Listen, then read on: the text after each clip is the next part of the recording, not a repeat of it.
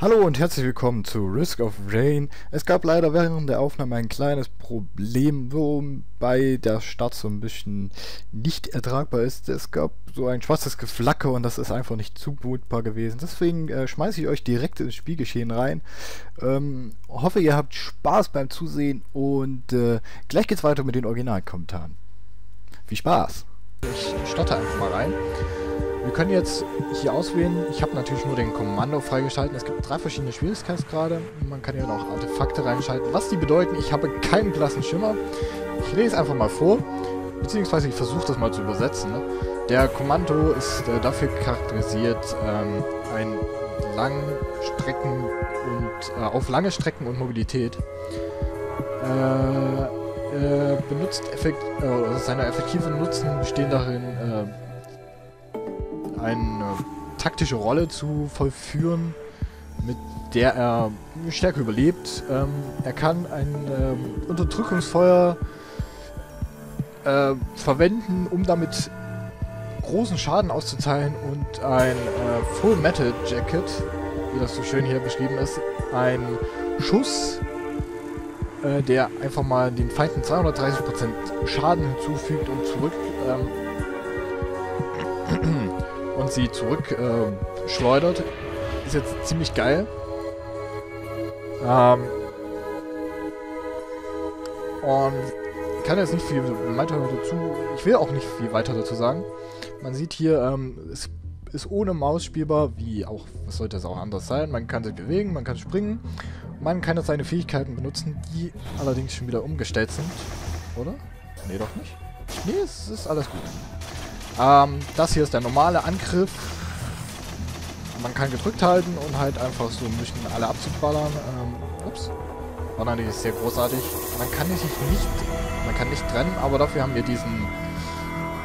Ja, ich bringe mich in Sicherheitsrolle. Äh, das ist der Full Metal Jacket, wenn ich nicht falsch liege, genau. Und dann haben wir noch unser Unterdrückungsfeuer. Oh, da bin ich auf die Maus geraten. Ich hoffe, der Mauszeiger geht weg. Schieben wir einfach aus dem Bild. Das sieht dann so aus. Sehr hilfreich auf jeden Fall. Ähm, ja, unser Ziel. Was ist denn das Ziel? Wir, ouch, müssen überleben. Hat oberste Priorität. Dabei äh, verschiedene Coins sammeln, um an Kohle zu kommen. Ach, ich verwechsel immer die Tasten. Das ist so... Nein, so schlecht eigentlich. Und ähm, müssten einen Teleporter finden, der uns in die nächste Ebene bringt. Steigen natürlich immer im Level auf, was uns etwas mehr Leben bringt und andere schöne Fähigkeiten. Ah.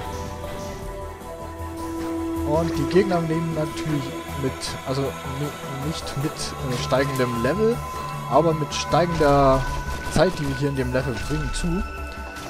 Das heißt, je länger wir uns hier aufhalten, desto stärker werden die Gegner, desto stärker müssen wir hier unsere Fähigkeiten einsetzen, um zu überleben, um zu den Teleporter zu kommen und um in die nächste Stufe zu kommen. Wir können hier Fähigkeiten kaufen, ein Dynamit Dynamite Park, Hitting Enemies, Drop Dynamite, Use to Detonate.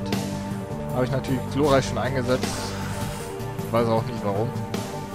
Kommt da nicht hoch? Kommt nicht hier hoch ungünstig. Kann mich einfach so abschießen, das ist auch ungünstig. Aber wir können sie natürlich schön von hier oben erstmal versuchen, so ein bisschen wegzukicken. Ich weiß auch gar nicht, ob das Spiel beim Zugucken äh, Spaß bringt. Bin ich echt überfragt. Also mir bringt das echt viel Spaß. Ich äh, war echt geflasht, als ich das Spiel gefunden habe. Das hat mich echt angefixt einfach dieses, diese Challenge so lange zu überleben, wie es nur geht. Und dabei einfach geile Moves vollführen, äh, so ein bisschen... Oh. Ach so, ja? So geht das. Alles klar. Ich habe herausgefunden, wie man die Granate benutzt. Aua. Oh, wir haben da hinten einfach mal so ein paar Leute getötet. Ist auch gut. Weiß gar nicht, wie wir das geschafft haben. Ach, wir können in beide Richtungen schießen anscheinend. Sehr praktisch.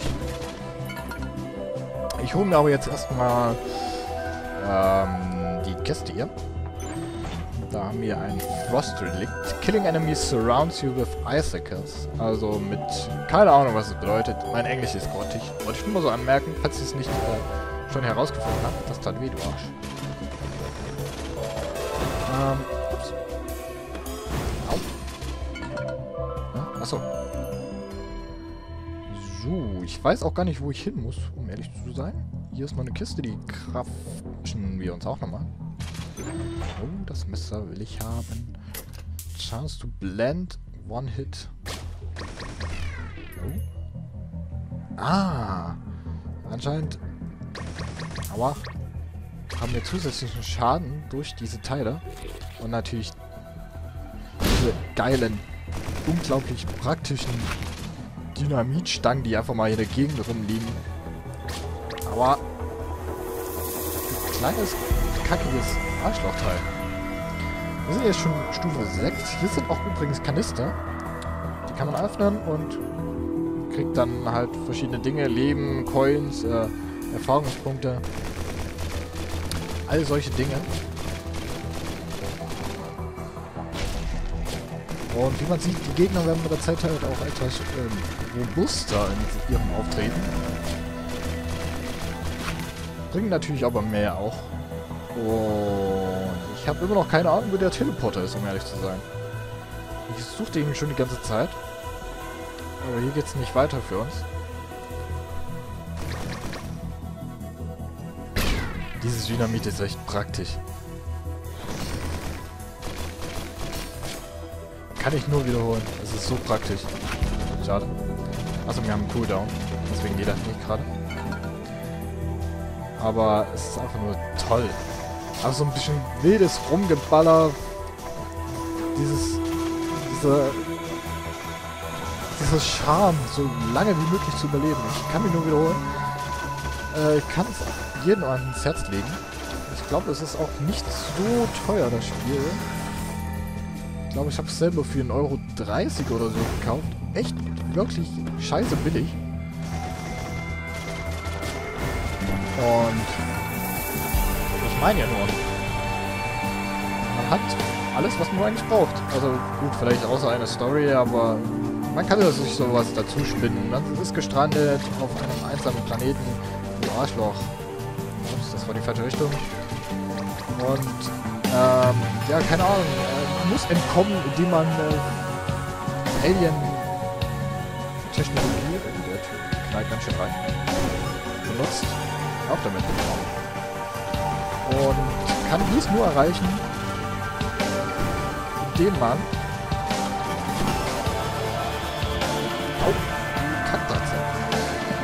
Ah, toll. Am besten nicht auf die Schnauze fällt und sich erstmal hinmault. Au. Au. Sehr, sehr, sehr schlecht. Könnt ihr nicht einfach mal zur Unterstützung. Uh. Da muss ich gerade mich mal konzentrieren.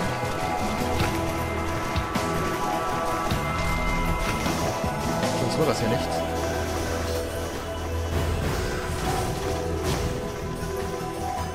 So ein bisschen Schaden austeilen durch diese Eisblöcke ist auch sehr gut. Natürlich das Dynamit äußerst praktisch. So, wir sind immer noch dabei auf der verzweifelten Suche. Wir können natürlich auch ähm, Fallschaden übrigens erleiden. Kommen wir runter? Ja, das eine Teil natürlich. Wir kommen natürlich da nicht nach oben. Das ist so schön. Hört auf damit. Nein. Oh, oh, ganz schlecht. Wenig Leben. Ganz viele Viecher. Und kein Plan, wo wir lang sollen. Das bringt uns auch nicht viel. Das Ding könnte dann mal weggehen am besten. Oh, das war natürlich sehr geil.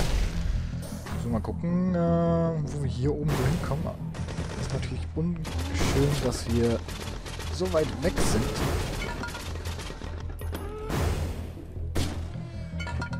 Ich will auch nicht so viel äh, das Dynamit verwenden.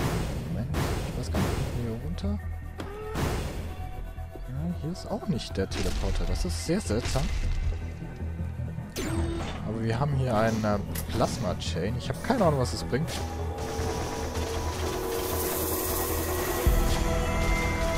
Aber auf jeden Fall können wir uns das Ding ein bisschen... Oh. Na toll, das wollte ich jetzt nicht. Auf Distanz halten. Ja. Ihr tut mir weh. Leute, ihr tut mir weh. Ich mag das nicht. Tut mir weh. Hört auf damit. Stopp. Aufhören. Äh, wir haben einen Erfolg freigeschaltet. Ich habe, glaube ich, 20 von diesen Lemuren oder wie die heißen. Was ist das denn? Oxengloves. Ähm, just so summon ghost from every the screen. Ich weiß nicht, ob das was bringt. Werden wir gleich sehen.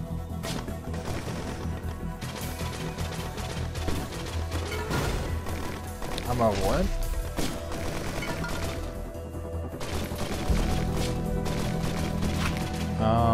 Weiß ich nicht. So einfach mal so ein bisschen... Ah, verdammt. Ich dachte, ich kann ja so ein bisschen auf Sneaky Bastard machen. Aber das bringt anscheinend nicht so viel. Au. So. Ich komme irgendwie nicht weiter näher. Aua. Hört auf damit. Ah, jetzt haben wir ihn gefunden. Da drüben ist er. Und wir sind tot. Na toll.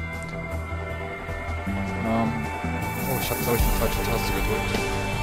Und habe die Aufnahme abgebrochen. Oder auch nicht. Ich weiß es nicht. Ich bin eh gestorben, von daher... Ach nein, ich habe die Aufnahme nicht abgebrochen. Gut. Alles klar, ich bin tot. Äh, getötet durch ein... Äh, durch eine Qualle. Hab äh, aber sehr gut durchgehalten. 9 Minuten 50, neuer Rekord. Okay, ist jetzt nicht sonderlich sensationell, aber wir haben eine Folge gefüllt bekommen. Äh, was will man mehr? Sechs Items haben wir gesammelt, 584 Goldmünzen und ein Total-Score von 7695. Nicht schlecht, Herr Specht. Ähm, in diesem Sinne sage ich Ciao an euch. Ich hoffe, es hat euch gefallen. Ich werde den Link zum Spiel äh, in die Beschreibung packen. Hoffe darauf, dass ihr äh, einen Daumen hoch hinterlasst oder und je nachdem wie eure Stimmung ist, einen, einen Kommentar. Und ja, ich freue mich, wenn ihr uns das nächste Mal wiedersehen bei Risk of Rain.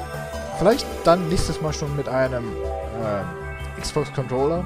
Aber auf jeden Fall danke fürs Zuschauen und bis zum nächsten Mal. Euer Night LP. Ciao.